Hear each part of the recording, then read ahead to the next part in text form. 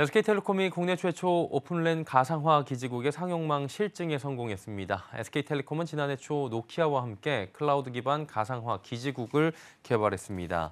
양사는 이번 연구를 통해 클라우드 기반의 Open RAN 가상화 기지국을 상용망에 설치하고 트래픽 자동 최적화가 가능한 지능형 기지국 제어 장치를 개발하는 데 성공했습니다.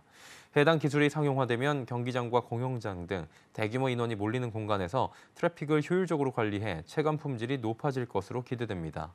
SK텔레콤은 앞으로 오픈랜 기술을 통해 특정 제조사와 관계없이 망을 구축할 수 있게 되며 기지국의 다양한 소프트웨어를 활용할 수 있게 될 것이라 설명했습니다.